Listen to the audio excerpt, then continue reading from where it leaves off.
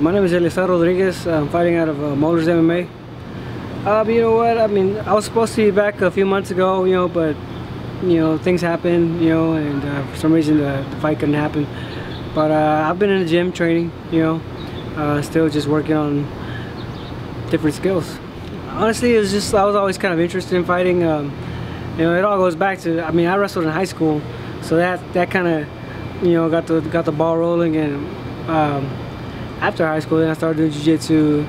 That led to watching fights and then, you know, coming and check fights out and then, you know, actually fighting myself.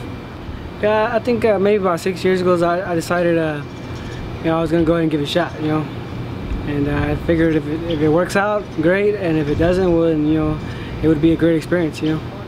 I'll be fighting, uh, I believe his name's Steve Banaszak.